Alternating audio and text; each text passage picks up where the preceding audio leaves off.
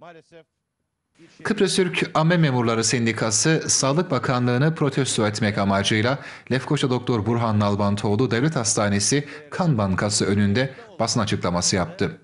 Sendika Genel Başkan Ahmet Kaptan, dört konuda yaşanan sorunların çözümüne yönelik 15 Aralık tarihine kadar adım atılmaması halinde süresiz grev de dahil olmak üzere her türlü eylemin hayata geçirileceğini söyledi. Maalesef bir şeyi hatırlatmak isterim. Geri kalmış ülkelerde veya şimdilik böyle bunu süsleyerek gelişmekte olan ülkelerde iki kesimin hiç iş zorluğu çekmezler. Biri basındır, biri de sendikacılar.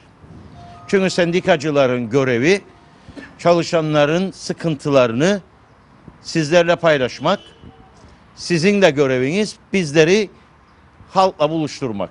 Onun için ne siz işsiz kalırsınız ne biz. Ama böyle beceriksiz, böyle duyarsız, böyle iş bilmez ve böyle bizleri dikkate almayan yönetim anlayışıyla belli ki ilerleyen günlerde biz sizinle daha çok buluşacağız. Biz bu duyarsızlıktan şikayetçiyiz. Çalışanlar şikayetçidir. Halk şikayetçidir. Ama onlar hala daha bizi dinlememek, bizi dikkate almamakta ısrar ediyorlar. Ve bugün bir kez daha uyarıyoruz. 15 Aralık 2015 deadline yani son gün.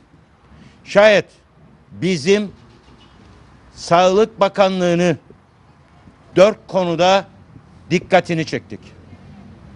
Bu dört konuda duyarsızlık ve bizimle görüşmeme, bizimle sorunları tartışmama ve çözüm üretmeme devam ettiği takdirde bilinecek ki 15 Aralık'tan sonra biz buralarda süresiz grevde dahil olmak üzere maalesef halkımızın zaten sakat eğitimde aldığı hizmetlerin yanında sakat sağlık hizmetlerinin de aksamasına sebep olacağız.